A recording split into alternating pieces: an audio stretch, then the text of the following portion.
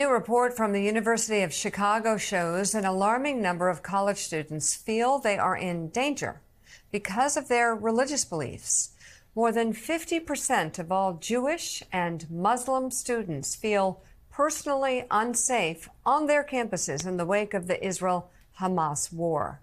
This rising tension is at the heart of a new off Broadway play entitled The Ally, in which a Jewish college professor is asked to sign a social justice position that forces him to grapple with just how far he is willing to go to condemn Israel while still protecting his own identity.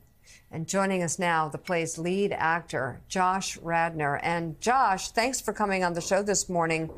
Really important timing um, for, for this storyline, actually. Tell us about it.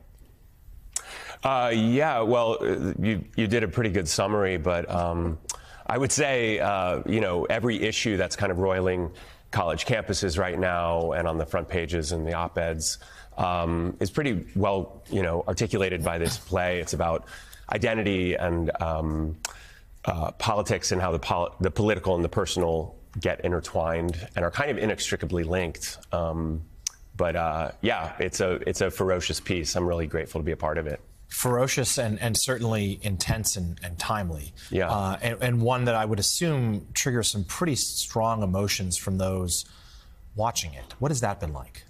Um, well, you never know going in each night. I mean, some nights the audience are, you, you know, they're just really with the play. You can really hear them listening. Sometimes we've had audible uh, reactions, people kind of shouting things or saying things, applause at various moments. You know, when, when one uh, part of the audience is applauding, you can be sure that the other part of the audience is not applauding, you know, mm. really intentionally not applauding. So I would say it's been, it, it, we're covering these divisive issues, but it's incredible. The audience has been mostly very respectful. Um, yeah. And it's an intense experience for those watching, but it also has to be intense for you yeah. up there. Walk us through what drew you to the role and what it's like for you there night after night.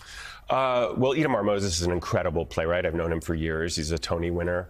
Lila Neugebauer is one of the great directors in the American theater, the public theater, where I've always wanted to work. So just the elements of it were uh, kind of a yes before I even read the play. But then once I did read the play and I realized, you know, this was written, he started it in 2018, so it was written long before October 7th, and he made some adjustments uh, based on that. But um, it just felt like everything I ever wanted to do in the theater was to be in a play that felt urgent and vital and scary as an actor mm. to do, um, but that was really speaking to its moment with some urgency.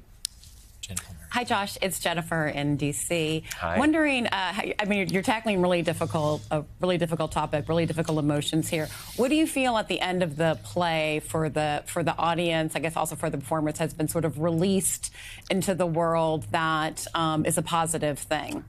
Yeah, that's a great question. I mean, I, I think that. Um, you know, so much of the dialogue and discourse around these issues are very, it's very first draft, it's very kind of inflammatory, it's very emotional.